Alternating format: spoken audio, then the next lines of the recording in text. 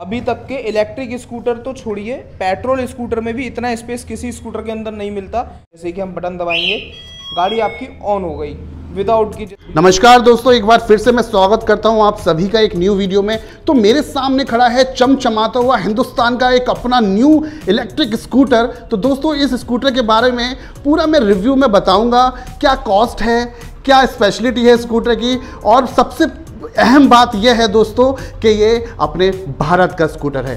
तो इस वीडियो को स्किप करे बिना पूरा देखिएगा वीडियो को अभी से लाइक कर दें। तो चलिए वीडियो शुरू करते हैं। फ्रेंड्स, मेरे साथ जुड़ चुके हैं प्रवल भैया इस स्कूटर की जानकारी देने के लिए। नमस्कार भैया, आपका एक बार फिर से स्वागत है इस चैनल पर। तो सर, मुझे इस स्कूटर का पूरा नाम, पूरी जानकारी बताइए। हमारे व्यूवर्स इच्छुक हैं इस स्कूटर के बारे में जानने के लिए। बिल्कुल भैया, मैं इस स्कूटर की सारी जानकारी दूँगा। बिल्कुल न्यू लुक है इसका, एकदम एंटिक लुक है। मतलब आप उसको कुछ भी कह सकते हो। बहुत ही प्यारा प्रीमियम डिज़ाइन में बिल्ड क्वालिटी बहुत इनहेंस है और हिंदुस्तान पावर एक अच्छा ब्रांड है।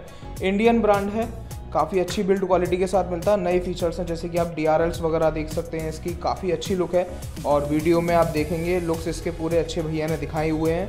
बाकी पावर इसकी काफ़ी अच्छी है। 170 सेवेंटी प्लस आप इस पर वेट आराम से ले सकते हैं। दो बंदे प्लस अपना छोटा मोटा ग्रॉसरीज वगैरह का सामान आप इस पर कैरी कर सकते हैं। और बहुत ही प्रीमियम लुक है। जैसे आपने देखे होंगे नॉर्मली स्पोर्ट्स स्कूटर वगैरह आते थे तो वो थोड़ा सा बोर हो गए थे लोग वाग भी।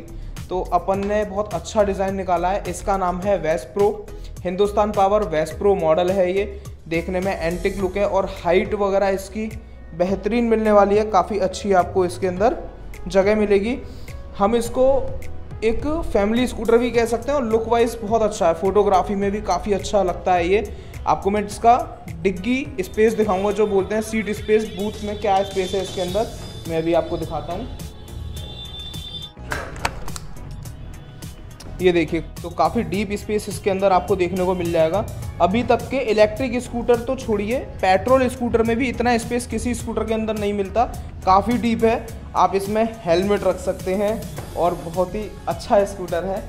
बड़े साइज़ का हेलमेट प्लस ग्रोसरीज का सामान आप इसमें इजीली रख सकते हैं। और सबसे बढ़िया इसका सिक्योरिटी में देखिए, दो चाबी एंड दो रिमोट आए थे। इसको सेंट्रल लॉकिंग भी बोलते हैं एंटी थ्रिफ्ट अलार्म और कीलेस एंट्री भी ले सकते हैं। तो जैसे कि हम बटन दबाएँगे, गाड़ी आपकी ऑन हो गई। विदाउट की जैसे शरारती बच्चे होते हैं अपना चाबी निकाल लेते हैं स्कूटर से चलती गाड़ी से तो आप इसको पॉकेट में रखिए और स्कूटर कीलेस चलेगा आपका।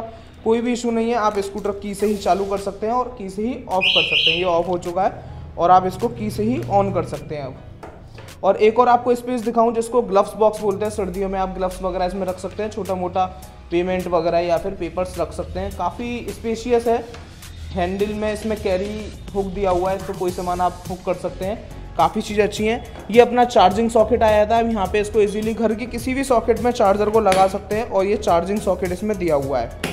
और फुट मैट के पास काफ़ी फुट स्पेस है। काफ़ी अच्छा फुट स्पेस आपको मिल जाता है। तो दोस्तों, इस स्कूटर में आपको आरटीओ रजिस्ट्रेशन की भी कोई नीड नहीं है। सुरक्षा के लिए हेलमेट आपको पहनना ज़रूरी है।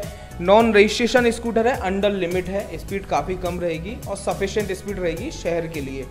तो दोस्तों, इसके अंदर लेड एसिड बैटरी का सेटअप आता है, जिसमें ये 60 वोल्ट का चार्जर आता है। घर के नॉर्मल किसी भी बोर्ड में लग जाएगा और ऑटो कट ऑफ़ होता है। रात को आप लगा के इसको छोड़ सकते हैं। बैटरी फुल होने के बाद ऑटोमेटिकली ऑफ़ हो जाता है। लेड एसिड बैटरी में इसका जो चार्जिंग टाइम है सिक्स टू सेवन आवर्स है और लिथियम बैटरी ऑप्शन में इसका चार्जिंग टाइम अप्रॉक्सीमेटली साढ़े तीन घंटे का रहता है। तो रेंज इसकी जो रहती है लेड एसिड में कंपनी 70 किलोमीटर्स क्लेम करती है। 50 टू 60 का प्रैक्टिकल एवरेज आपको देखने को मिल जाएगा। वहीं अगर आप इसको लिथियम बैटरी ऑप्शन में रहते हैं तो कई सारे ऑप्शन हैं। 60 volt 30 H and 60 volt 40 H जिसमें कि सवा सौ किलोमीटर प्लस एवरेज भी देखने को मिल जाएगा और 70 टू 80 किलोमीटर्स का भी एवरेज आपको इजीली देखने को मिल जाएगा। तो दोस्तों, आपके बजट के हिसाब से आपको ये स्कूटर मिल जाएगा। By default lead acid battery में आता है, जो कि मेरे हिसाब से शहर के लिए काफ़ी सफिशेंट है। काफ़ी अच्छा आपको एवरेज मिल जाता है। और शोरूम का एड्रेस वीडियो में डिस्प्ले हो रहा है और नंबर भी आपको दिया हुआ है। जिसको भी बाई करना है, आप शोरूम पे विज़िट कर सकते हैं और ऑल ओवर इंडिया डिलीवरी भी अवेलेबल है। आप नीचे दिए गए नंबर पे कांटेक्ट कर सकते हैं, जहाँ आप कहेंगे वहाँ स्कूटर पहुँच जाएगा। तो दोस्तों, इसके अंदर ट्यूबलेस टायर आया था ट्वेल्व इंच का, जो कि काफ़ी अच्छी आपको परफॉर्मेंस देगा। डिस्क ब्रेक आपको फ्रंट में देखने को मिल जाता है, अच्छी ब्रेकिंग के लिए। और इसके अंदर टेलीस्कोपिक सस्पेंशन आया था जो कि काफ़ी अच्छी आपको परफॉर्मेंस देगा। तो काफ़ी अच्छे लुक के साथ इसमें एक और प्रीमियम चीज़ आपको दिखाएँगे जैसे कि ये फुट रेस्ट है। अगर हम इसको दबाते हैं वैसे तो फुट से ही आप दबाएँ तो ये खुल जाता है और हाफ़ इसको प्रेस करेंगे तो ये लॉक हो जाता है। तो काफ़ी प्रीमियम और स्मार्ट टच फुट रेस्ट मिल जाता है काफ़ी अच्छा है। और बाकी दोस्तों स्कूटर की परफॉर्मेंस आप टेस्ट ड्राइव लेके ही पता कर पाएँगे। एक बार आइए और टेस्ट ड्राइव लीजिए। शोरूम का एड्रेस वीडियो में दे दिया हुआ है।